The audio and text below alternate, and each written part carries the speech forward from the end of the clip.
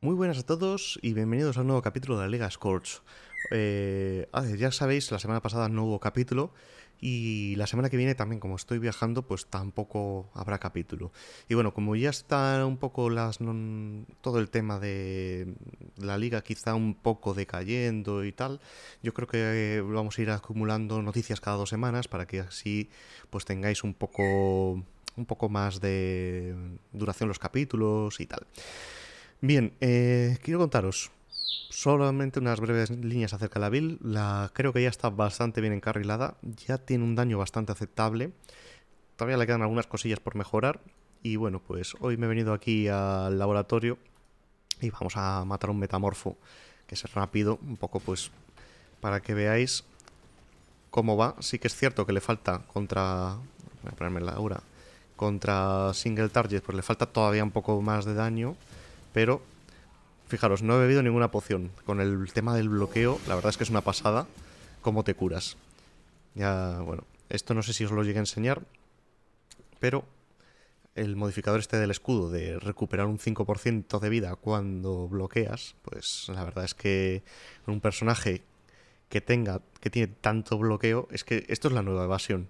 o sea, para yo la verdad es que estoy muy contento de cómo ha ido el personaje y, bastante contento y bueno, pues lo dicho. Eh, me siento bastante cómodo con este personaje, a pesar de que la habilidad RIP es un poco meme, como ya sabéis bien. Vamos a empezar a hablar de noticias, que es lo que queréis saber. Entonces os las he agrupado un poco eh, temática. Eh, ¿Por qué me he venido aquí? Bueno, porque las dos primeras que han sacado que son los concept art de... Bueno, esto es la de los habitantes de, de las profundidades de la, de la Liga Atlantis, que hay como, bueno, a pesar de que son los habitantes de las profundidades, hay como pájaros, ostras, que se me baja un poco la barra, y hay unicornios voladores. Y lo otro son pues gente con escafandras, digo, bueno, esto me recuerda un poco a Tainy, por eso me he venido aquí. Bien, eh, disculpad si esto está aquí así es bajado, porque es que empecé a hacer el vídeo y luego me di cuenta que no le había dado el botón de grabar. Vale. Más cosas que han sacado así que son noticias un poco de relleno. Todo esto es relleno, ya sabéis. Bueno, esto a lo mejor os marea un poco. Entonces, si os marea un poco objetos en movimiento, cerrad los ojos y ahora os digo cuando los podéis abrir. Eh, están hablando aquí de la tecnología de refracción de la luz de, sobre superficies de Path of Exile y entonces nos están mostrando aquí, yo lo que entiendo son eh, un muestrario del mismo objeto, uno ya como más renderizado o como con más textura y el otro sin tanta textura, para que veáis cómo va la luz. Y hablando que bueno, que esto que puede llegar, que esto es quizás lo ideal, pero que puede llegar a saturar tanto efecto, o estas pústulas que no sé si son del acto 4 del acto 7, de donde son pues hay mucho detalle de fijaros cómo se mueve la luz a través de la superficie rosa. Pero claro, luego esto dice que no es 100% del todo utilizable, sino que luego, bueno, pues esto no... Esto es como el máximo detalle y luego esto no se acaba utilizando, pero que hasta este nivel de detalle que llegan los desarrolladores. También este podéis ver la luz en los, en los cristales de Legión y también aquí la refracción de la luz sobre solares sin texturas y una cabeza. Vale, ya está, ya podéis abrir los ojos si os mareaba. Grinding Gear Games está contratando otra vez. Y esta vez, mm, por lo que parece, han decidido no ponerlo de las restricciones de gente que ya viva en Nueva Zelanda o en Australia que vaya a vivir a Nueva Zelanda, sino gente, no es, llegan a decir worldwide, es decir, en todo el mundo, pero sí que llegan a decir gente que legalmente pueda viajar, que tenga una visa o la pueda obtener a Nueva Zelanda cuando se levanten las restricciones por COVID. Entonces, ¿Esto qué supone? Eh, ellos siempre están poniendo como excusa, no sé si es una excusa que podemos pensar que es real o que es un poco ficticia, como por ejemplo lo que pasó con el retraso de la Liga de la Maven por culpa de la competencia de un juego de tal calibre como fue mm, el Cyberpunk, y en cambio pues no van a retrasar ligas porque salga el Diablo, el Diablo 2 eh, remasterizado, o porque salga el New World, o porque salga el Lost Ark. O sea, puede ser excusa barata el tema de, cómo hay COVID, pues no estamos reclutando y Path of Exile 2 se retrasa, o puede que sí que sea la situación real. Pero el caso es que, o que no encuentren profesionales, que a lo mejor no tengo ni idea cómo está el mercado, ¿eh? que a lo mejor estoy aquí haciendo opinión de cuñado y, realmente el mercado no tengo ni idea de cómo está. Y, y bueno, aparentemente, yo por lo que veo, buscan muchos animadores seniors, un director de arte, o sea, no sé si, o sea, esto yo creo que es un cargo alto, entiendo. Y, y, entonces yo lo que no sé es si todavía tienen que seguir desarrollando el PoE 2 o si esto va a ser de cara a expansiones o de cara a refinarlo o de cara a, qué narices va a ser. Pero el caso es que te sorprende que un juego que hace dos años se presentó en la, la ExileCon justamente hace dos años y daban a entender que a mediados de 2021 o principios de 2021 íbamos a poder ver las betas del juego y que ahora, por lo que parece, hasta 2023 o 2024 no lo vamos a ver, pues sí que puede que tengan un retraso bastante severo a nivel de desarrollo del juego. Yo me imagino de todas formas que en la próxima expansión de enero, que es la gorda, algo nos mostrarán de, de Poe 2 otra vez. Y al respecto de eso, luego vamos a hablar un poco más. Entre medias, así, tenemos esto del Fan Art Competition, que una vez al año más o menos, o dos veces al año salen concursos de este tipo, y ya hay algunas participaciones. Entonces, bueno, vamos a empezar de abajo hacia arriba, porque ya os dije, estuve grabando el vídeo y aquí me quedé. Aquí este es uno de los demonios con un par de sucubos o algo así. Eh, un demonio siendo alcanzado por un rayo de luz. Otro de los demonios en plan... Esto me recuerda mucho a, los dibujos de las vidrieras que había de otros fanart que salía quitaba y tal. Y yo creo que estos son otros demonios un templario estilo difuminado enfrentándose a las hortas de demonios. Este, este me encanta, este de, todos los que he visto es el que más me gusta. Tú lo empiezas a ver así y piensas, esto es la estrella de la muerte, la luna, Star Wars, algo así. Sigues bajando, el difuminado se vuelve blanco y rojo, ves una ciudad que dices, esto de qué es. Y luego he pensado, coño, si esto, si esto es de Path of Exile 2, esto es la ciudad esta de, de Path of Exile 2, ¿verdad? O eso da la, sensación. Y aquí tenéis a la última en morir enfrentándose a las hordas de demonios que salen de la nada. Este dibujo me gusta mucho cómo juega con la transición de colores. Sí que es cierto que parece un poco bandera de Francia, azul, blanco y rojo, pero, pero a mí me gusta bastante. Vamos, este, si algún día utilizo algún vídeo, de hecho, mira, guardar imagen como. Eh, no sé si tengo por aquí ya lo de los fanart. Bueno, si no me lo guardo luego me lo guardo ya para hacer vídeos del lore, si algún día llega el momento. Y luego aquí tenemos pues otro de los demonios, que este, no sé si es el de la mini o, o, cuál... Ah, no, no, no, este es el que, el que abre las tripas. Que este, este es el que más me he encontrado yo con más frecuencia. Que, el otro día que estuvimos en el podcast, me acuerdo que decías Nick Master y decías Pia que apenas habían visto estos bosses. Y yo sinceramente es que me los encuentro, pero, pero con una frecuencia que menos mal, bueno, no, menos mal no. O sea, en esta liga llegan a poner el logro de matar a estos condicionalmente y yo creo que también lo tendría el condicional. Porque es que fue de los primeros logros que conseguí, el de matar a los tres bosses de, de este tipo. Es que, es que, yo creo que estaba todavía en mapas blancos cuando, cuando lo maté a los tres. Y anda, que no me han salido veces y veces. Y ojo, eh, que uno de ellos, el, el Kitas o el Katas o algo así, la gente lo vende en el TFT por 30-40 caos. Porque habrá gente que, que a lo mejor no se entera cuando hay un boss o o algo de eso. Yo creo que ya lo comenté. Que tengo aquí alguna captura de pantalla. Eh, no sé si era esta. Este, mira, Katas. O Kutas, o Kitas, o como queráis llamarlo. Eh, que de todas formas, aparte del mini conito, hay algunas pistas que en este ves como cosas rojas, que sabes que está este boss. Hay otro... En... Vale, no, este era el logro del huerto. Sí, este era el logro del huerto que también lo saqué, que fue cuando lo puse en Twitter. Que este, este también la gente lo vende y lo compra mucho en el TFT. Que este es tan sencillo como hacerte un mapa de, con billón y que te salga un huerto. Y intentar a todos los bichos, intentar llevártelos de un lado a otro y matarlos siempre en el mismo punto. Y al final te acaban saliendo estos, estos bosses. Y no me parece excesivamente complicado, es un poco tedioso. Y de vez en cuando le das a la V para sacar más bichos y matarlos, los demonios y tal. Y al final, pues, pues ahí lo, veis, sale... Este fue de los, un logro que no me costó mucho tampoco. Y aquí veis estas bolitas moradas, es también de, otro boss, que este es el más frecuente, este es el que abre las tripas. Y... Y... Ah, bueno, esto ya lo enseñé, esto también. Este, estas cosas rojas que se ven por aquí, este me parece que era el que tenía el, el, el quitas, pero es que apenas se ve en la captura de pantalla, pero era como muy evidente cuando hice la, la, cosa que yo cuando lo vi.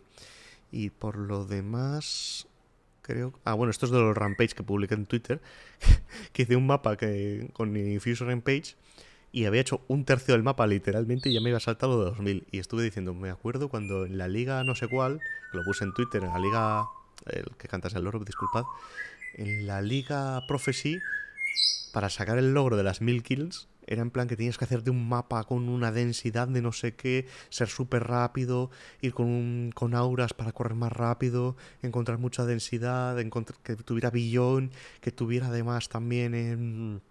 ¿Cómo se llama? Eh, sirenas, no sé qué. Bueno, era una locura hacerse el logro.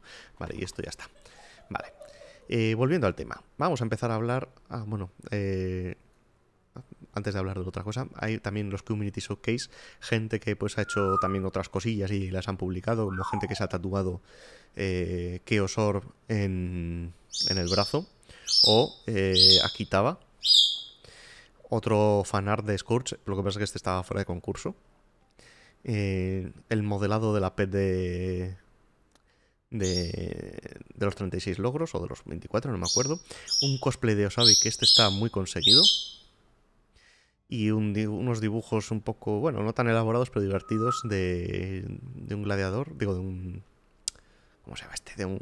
Bueno, quien sea, un ciclón y de un Minion Master. Bien, ahora sí, vamos a hablar de más cosas y más noticias más relevantes. En primer lugar, se han publicado las notas del parche 3.16.1 y diréis, mm, bien, vamos a ver qué cuenta. Porque siempre que viene un bueno, ya sabéis, 3.16 es el, o 3.15, 3.14, 3.13 es el principal de la liga y luego sale el punto 0, no sé qué, no sé qué, no sé cuántos, punto 0 CF, no sé qué. Pero cuando viene el punto 1 suele ser el parche gordo que arregla muchas de las cosas de la liga. ¿Qué pasa? Que esta vez el parche 3.16.1, que suele salir, ya os digo, a las 3 semanas de liga, luego está el, 3, el punto 2 a las 6 semanas y el punto 3 a las 9 más o menos, son los parches principales de la liga. Pero esta vez el punto 1 es que no trae nada, es simplemente que arreglan unos bugs y hacen unas pequeñas mejoras y poco más, es que no trae nada, no trae nada. ¿Por qué? Pues porque todo lo que... Yo creo que lo han hecho bien, todo lo que normalmente te esperas que, me, que arreglen en este parche ya lo han arreglado previamente. Y lo han arreglado en un tiempo bastante récord, lo cual es de agradecer. Con lo cual este parche se les ha quedado como un poco... Un poco pues eso, vacío, entre comillas. Eh, entonces, bueno, pues no hay mucho que contar aquí, sinceramente. Arreglan bugs, ya está. Y ya os digo, eh, es de agradecer. Lo que pasa que, bueno, quizá la gente esperaba alguna mejora más a la liga. Alguna mejora del tipo mejor drop, mmm, eh, que te caiga en un punto como pedía la gente. Bueno, así, en fin, no lo han hecho. Y ahora ya entrando en materia, Save the Date. Es decir, apúntate la fecha. Eh, porque en el mes de diciembre, como ya sabéis que, bueno, pues hay otros juegos, está New World, está los Ark, etcétera, etcétera. No sé si es por competir contra esos juegos o por ir generando high de cara a, la expansión gorda que van a anunciar en enero, pues han anunciado una serie de eventos que, que bueno, pues que, que algunos los van a ir anunciando y serán de 10 días. Y en primer lugar han anunciado un Endless Delve. El Endless Delve es que tú te vas a la mina y tienes eh, azurita infinita. De hecho, lo hicieron justamente hace un año. Es que me recuerda mucho eso, que fue justamente hace un año cuando alargaron la Liga Haste de cara a que la gente estuviera entretenida de cara al lanzamiento de la May de enero. Hicieron una serie de eventos y uno de ellos era el Endless Delve. Y, era, y, yo, y fue el más popular de todos. Y era eso, que tu personaje, luego el personaje lo borrabas, ¿eh? ese no iba estándar. Solamente estaba en la mina y lo conseguía todo en la mina, las, las ascendencias, las gemas y todo lo demás. Y, tenías eh, sulfito infinito. Luego han anunciado pues 3 Royal, que me imagino que aquí pues eh, a lo mejor hacen el Twice Rivals o algo de esto. Eh, el mítico evento de Cizaran, que dura 10 días, mmm, complicado. Y unos eventos que están pendientes de ser anunciados. Me imagino que algunos eran una flashback o algo de esto, una void o algo así. Pero estuve pensando, ¿verdad que molaría? O sea, yo, esto, esto ya es mmm, cosas que... A ver, espera que... Ta, ta, ta. Ah, que estos son eventos que nunca han tenido lugar no va a ser ni la Mayhem, ni la Flamer, ni la Turmoil. Vale, pues están pensando, ¿os imagináis que os sacan, nos sacan una liga que tenga unas reglas nuevas, ojalá, ojalá, algo, algo muy fresco, que digas esto mola. Como por ejemplo que juegas directamente en el, en el ya invadido por demonios y le des a la V y viajes a nuestro mundo y en nuestro mundo te sirva para quitarte la corrupción de, de las cargas de corrupción o para quitarte el Scourge y que los objetos se, se, arreglen o algo así. Yo creo que, yo creo que sería muy divertido una, una liga así, como la inversa eh, eso, de viajar a nuestro mundo en vez de estar en el mundo de los demonios. Sería, yo creo que sería algo muy divertido de, jugarse. Pero bueno, a ver que nos sorprenden porque tantos eventos y, tal, yo creo que yo creo que van a intentar eso, tener a los jugadores enganchados y posiblemente cuando acabe este evento de 10 días o cuando esté a punto de acabar, yo creo que será cuando hagan el anuncio de, de la siguiente liga. O por ahí, espero, espero no, no equivocarme. Bien, eh, bueno, esto lo, he traído también porque la, la, caja anterior, que antes te tocaba al azar, pues ya están los efectos que la gente los puede comprar, que esto siempre hay gente que, que lo quiere. Y también que esto siempre, siempre es la gente pregunta, ¿cuándo salen las pestañas de oferta? Pues ya están de oferta otra vez. Cada 3-4 semanas salen y vuelven a estar de oferta. Y ahora os voy a traer una cosa del lore. Y es que hablan un poco de creando el lore de Scourge quizá lo vamos a ver mejor aquí en español. Entonces, eh, hablan un poco de bueno, pues que el personaje de la última en morir, pues que no le querían no le querían dar muchas líneas y digamos como que todo el lore de Scourge no te lo llegan a explicar, pero como que lo das por sentado. Y una cosa que decían es que les vino muy bien que esta liga no tuviera tantas líneas de diálogo y la actriz de doblaje pudo trabajar a distancia sin problemas. No fue como Expedition, que eran cuatro personajes con muchas líneas de diálogo, de aquella no tenían tanta restricción de COVID y pudieron trabajar en el estudio, por lo visto. Y, entonces, bueno, pues eh, básicamente bueno, pues que, que, les vino muy bien que esta liga fuese eh, con poco lore, etcétera, y que luego que hay una cosa que se hablan que es eh, una entidad que se llama Caos. Y no es la primera vez que nos sale, porque ya nos salió en Ultimatum. Y, bueno, y te dice eso, que esta, la última morir, pues, que tiene un pacto que ha hecho con esta entidad, Caos, que, es lo que le permite viajar entre unos universos y otros. Y entonces, bueno, pues está interesante, ya os digo. Eh, si queréis pausar del vídeo, lo leéis del tirón aquí en español. Os lo pongo también un segundo en inglés por si lo preferís leer en el idioma original. Y por mí, este bloque ya lo damos por finalizado y pasamos al siguiente, que son cosas que os he encontrado en Reddit. O, cosas, otras, o más bien otras noticias que han pasado. Porque eh, el 6 de noviembre se publicó una build de un Aura Stacker que no consumía mana. Y esto fue la locura absurda. A ver, se publicó el 6 de noviembre, pero la primera respuesta a este post no tuvo lugar hasta 24 horas después, el 7 de noviembre, ¿vale? Y el 8 de noviembre ya fue capado. O sea, esto se va popularizando poco a poco, alguien lo descubre, se aprovecha o, o lo utiliza y cuando lo decide difundir, de repente, pues placa, todo el mundo lo, se vuelve súper viral, todo el mundo lo intenta copiar y en ese momento llega GGG y esta vez decidieron no banear, pero sí nerfear. Entonces, ¿qué sucedió? Pues claro, un Aura Stacker dice pros es un Aura Stacker, contras es un Aura Stacker. Un personaje que se puede tanquear los rayos de Sirus sin problemas. O que puede estar con todas estas auras en Delirium Score 100, Tier 16. Oleadas de Simulacrum, etcétera, etcétera. Y pues no tiene que apenas pues invertir mucho equipo. ¿Por qué? Porque esto se basaba en que tu mana era cero. Y entonces cuando tu mana era cero, todas las auras que consumen un porcentaje consumían cero. O sea, no te podías utilizar... Mirad, yo tengo aquí unas cuantas auras. Y tengo estas, las que dice Reservation, 10% de mana. O estas, Reservation, 9 comandados, 23 y tal. Pero estas de 93 mana, estas, por ejemplo, Precision, no las podías utilizar. ¿Vale? Entonces, básicamente, utilizabas el eh, de Protector. El Balls Protector es un objeto que te reduce tu mana un 50%. ¿Vale? Hasta ahí normal. Y también estos guantes, que os tienen que sonar, que reducen un 15% el mana. hasta ahí todo normal. Ya reduces un 65% tu mana.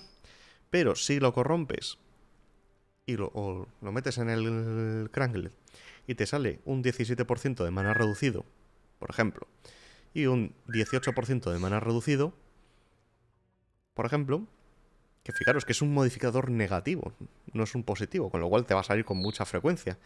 Pues al final resulta que si sumas todo, pues llegas a un 100% de corrupción. Eh, perdón, un 100% de, mm, de menos mana. Entonces llegabas a un mana de cero y las auras eran gratis. ¿Qué pasa? Que esto se volvió la locura extrema. Fijaros aquí que un objeto como este, que vale siempre un alquimia, un caos, o que directamente nadie te lo vende, porque nadie quiere perder el tiempo vendiendo una cosa por, tan poco dinero, en el histórico aquí te sale un pico de 5 caos. Pero es que ese mismo día lo mirabas, es que, es que el nerfeo se popularizó y a las 2 horas estaba... O sea, o sea, el objeto se popularizó y a las 2 horas estaba nerfeado. Se llegó a poner a 17 exalte de este objeto o 30 Exalted. Una locura. Estaba todo el mundo que quería hacerse esta build. O sea, era la build que hubiera roto el metagame. Entonces, eh, como esto no era un bug que se están aprovechando siete personas, como pasó pues, en la Liga Ultimatum y GGG pues baneó a Empyrean, pues metieron el nerfeo mm, súper rápido en una nota del parche, por la cual pues las auras ya no se pueden activar cuando tu mana máximo es cero. Y punto, y ya está. Y todo esto, pues la gente que se gastó pues sus 30 exalted, pues, pues mala suerte. Pues porque era un bug, simplemente. Y ya está. Y esa era una cosa que quería que os contara, os quería contaros porque ha sucedido. Pero no lo veréis en unas notas del parche, lógicamente. O no lo veréis en unas noticias, sino que es una cosa que sale mm, voz a voz. Volviendo a Reddit. Esto me hizo mucha gracia. Dice, los seis links no deberían, deberían ser llamados cinco links. ¿Por qué? Bueno, pues es que tiene toda la razón este chico, fijaros. Fijaros, son seis agujeros, pero links 1, 2, 3, 4 y 5. Deberían llamarse 5L, 6 o que 5L. Tiene toda la razón. Lo hemos llamado mal toda la vida. Lo seguimos llamando así, sinceramente. y luego me dice, por favor, ¿puedes aceptar el trade? Claro, el otro está ahí entreteniéndose, tal, en plan, me lo está mirando, no lo acepta, etcétera. Luego esto también me llamó la atención. Eh, maté a Sirus por primera vez y me saltó el logro y solamente lo tenía un 1,6% de los jugadores. Y ahora lo estuve mirando, estaba en 1,7. Y la verdad es que es un porcentaje bastante bajo entre comillas. Sí que es cierto que ahora como Sirus llegas antes, pues me imagino que más gente lo matará. Y estuve mirando otros logros y, por ejemplo, a Brutus lo ha matado el 50% de los jugadores. Claro, hay muchas cuentas de gente que entra, lo prueba o lo que sea y nunca juega. Y el tema es que la campaña, es completa la parte 2, la ha completado un 14% de los jugadores. Es una cifra realmente baja, pero muchas veces a lo mejor nos obcecamos mucho en matar a Sirus, no sé qué, ta, ta, ta, y realmente el porcentaje de jugadores que puede llegar a matar a Sirus es muy corto y mucha gente se queda más por el camino. Y, a ver, también es cierto que pues entre un 1,4 y un 14%, pues te da un poco a entender que la proporción de jugadores que llegan a mapas es 10 veces superior a las que se terminan el Aldas. Que, no está mal, porque quieras o no matar a Sisus, se supone que ya es el final del juego y es ya en game, no es. No es, digamos, que es lógico que no todo el mundo quiera invertir tiempo o, ganas o farmeo en llegar hasta allí. Pero bueno, aún así no me parece tan desproporcionado porque hay otros juegos donde ves eh, quién acaba lo que es la campaña y, no llegan ni al 14%. O sea que, no sé, se pueden sacar muchas conclusiones de esto y se pueden tener muchas lecturas. Luego, esto os he traído aquí una pequeña guía, pero tampoco he tenido muchas visitas es básicamente pues gente lo que está haciendo la gente. O sea, lo que está haciendo la gente es muchas veces hacer mapas Scourge en, por ejemplo, en Tower, donde te pueden caer muchas cartas de, de Pattern o de, de Nurs con, con mucho quantity y, muchas cargas de, de básicamente. Y por si acaso pues hay gente que, bueno, os lo dejo aquí, si me acuerdo os lo dejo en la descripción, la descripción del vídeo para que la leáis, pero tampoco es una maravilla de, guía, también os lo digo. Esto, me ha hecho mucha gracia. Eh, un objeto a una mano, que ya de por sí son tres links, con Ruthless sería un 4L. Con Elemental Damage with Attacks, un 5L. Con Multistrike sería un 6L. Increased Critical Strike, 7L. Increased Critical Damage, 8L. Y si te pones ya el escudito este, es un 11L. O sea, la locura. Es un poco en plan el típico crafteo de todo tier 1 que que es no sé si si venía por aquí cómo se crafteaba no. Es que había había una cosa que había visto de cómo craftear pero se me olvidó enseñaroslo o sea se me olvidó guardarlo. Y, y no sé si era este arma ahora una así parecida o a lo mejor lo ponía y el tío lo ha quitado puede ser. Bueno pues qué le vamos a hacer entonces bueno es el típico crafteo de endgame que está muy chulo, la verdad. Eh, y ahora, pues vamos a ver tres cosas que la gente ha crangleado. El primero, una Salveron Warpath, que de por sí es un objeto que tiene 20% de velocidad de movimiento, no es el teléfono, es el loro, ¿eh? Y más unos esqueletos. Y le ha salido velocidad de movimiento y más unos esqueletos otra vez, con lo cual es 33% de movimiento y más dos esqueletos. Este sí que le ha salido bien. Luego, este, un Moon Reaper, que ya tiene doble corrupción, porque ya tiene Onslaught y Faster Projectiles, me imagino que ya es 6L, Quality 28, y el tío va y lo mete ahí y le sale 6% de triple damage. Lo cual también es una muy buena corrupción y le ha salido muy bien. Y por último, un Joffrey, que bueno, el Joffrey tampoco es que sea el mejor objeto del mundo, con doble corrupción más 2 a las gemas, más 2 a las gemas, y, una, y en el cangleo más 1 a la socket. Con lo cual, le ha salido muy muy bien. Eh, realmente. Mm, o sea, esto es como la puntilla. La punta del iceberg, no. O sea, es. Eh, el, el, el, copo de nieve más alto de la punta del iceberg. Lo que os acabo de enseñar.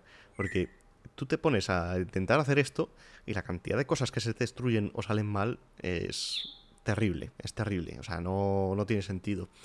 Entonces, hasta el final parece que no lo van a tocar, pero es que en plan, yo me acuerdo que me lo contaron el otro día que había un vídeo de Cizaran hablando de este tema y decía que más o menos una de cada 100 corrupciones te va a salir más o menos bien. Algunas te saldrán decentes, pero este tipo de cosas te salen con una frecuencia realmente muy muy baja. Con lo cual, bueno, pues al final meter un objeto valioso aquí, pues es un poco que lo puedes echar a perder, realmente. Y ya que, y para completar el vídeo, como veo que se me ha quedado un poco corto, voy a hablar un poco del tema de logros. Estoy en 33. Y hay mucha gente que va a ir a los 36, lógicamente. ¿Cuál, cuál dejaros? ¿Cuáles dejaros? Debo deciros que de los 33 hay dos de ellos que son difíciles, pero que en TFT la gente os lo compra o os, os lo venden bastante fácil, que son de los que están planeados más en game.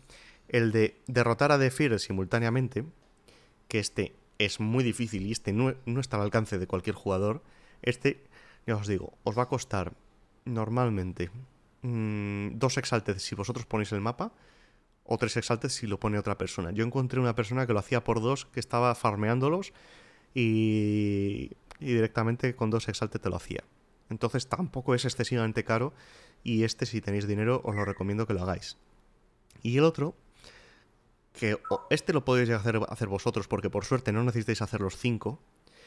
Pero sinceramente, yo los, tres que he hecho creo que son los más fáciles. El Sirus este, si tenéis suficiente daño, lo podéis llegar a hacer. En la última fase, pues tener cuidado de cuando hace la espiral, pues que no os dé. El de The Maven, yo este también, este, este, este me lo hicieron. Porque todavía no tengo daño para matar a la Maven. Eh, y algún que es que of Pain me voy a comer sí o sí. Es insta-kill, pero es básicamente hacer un, claro, es que en cuerpo a cuerpo es muy difícil escribir un casquido pain. Y eso que te avisa con tiempo. Pero te, la comes y, te manda para el lobby. Y a Chiri, este también es un poco complicado. Porque el Storm Call a veces se te superponen y no sabes ni dónde ponerte. Y alguno te puede dar de refilón. Entonces, no son muy caros. O sea, Sí que es cierto que el, Sirius tú lo sacas y lo haces en tu mapa. Y la Maven también puedes sacar la invitación. Y la las invitaciones están muy caras. Pero más o menos por un par de salte también lo podéis sacar, ¿vale? Y de cara O sea, yo eso os los haría, fijaros lo que os digo. Porque es una cantidad de dinero que yo creo que casi todo el mundo puede llegar a tener. El Dengue Greens, lógicamente, este eh, yo lo dejaría, sí o sí.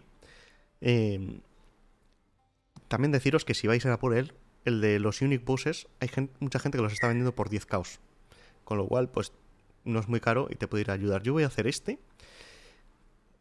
Voy a ir a por los rituales, porque quiero farmear rituales, me estoy divirtiendo farmeando rituales. Iré a por uno de estos dos, seguramente nivel 100. Voy a intentar bajar un poco la mina, a ver hasta dónde llego. Y yo creo de los mapas de síntesis, que este tarde o temprano la gente, si no te oferta spots, pues me imagino que tarde o temprano pues también eh, se, podrá, se podrá farmear o comprar los mapas y, te los haces. El máster de Blood Crucible, yo este me lo dejaría. Aunque parece sencillo, al final llega un punto que por muchos mapas que haces, esta barrita sube muy, muy, muy, muy lentamente. Y puede llegar a desesperarte. Entonces tienes que hacer mucho y jugar mucho. Entonces, si vais a por 36, ese logro también me lo dejaría. Y de los otros, ¿cuáles dos me dejaría? Pues uno sería este, el de transformar ítems 2. ¿Por qué? Porque hay unos que son muy comunes, pero hay otros que son específicos de algunos objetos en concreto y que tienen una probabilidad muy baja de salir. El Curse on Hit, este te sale en guantes, con lo cual tienes que estar metiendo guantes. El de las Keystone pasivas, em, tienes que meter armaduras, o sea, petos. Y el Reservation Efficiency Modifier, tienes que estar metiendo amuletos estos más o menos a lo mejor te sale uno de cada 100 o menos y este a lo mejor uno de cada 50. Entonces yo por ese motivo estoy metiendo todo el rato amuletos para sacar el logro. Pero ese puede ser muy, muy pesado también. Con lo cual, ese, ya os digo, yo este me, lo dejaría para los 40. Y el, y el cuarto que podéis dejaros, pues uno de los que queráis. Incluso a lo mejor si os aburre farmear maestros, os dejáis de farmear maestros. A mí esto me divierte y lo voy a hacer completar mapas únicos, este, este sí que lo haría, porque realmente es comprar un par de mapas que cuestan muy baratos si los haces. Y a lo mejor este por precio, porque no sé cuánto cuesta el Awakener y el Mi Menor, pero posiblemente este sean unos cuantos Exalted. Entonces, a lo mejor por precio, este lo puedes dejar para los 40. Y bueno, pues eso es todo. Espero haberos entretenido un poco y nada, nos vemos en un par de semanas con, con más novedades de, de, de Path of Exile. Hasta luego.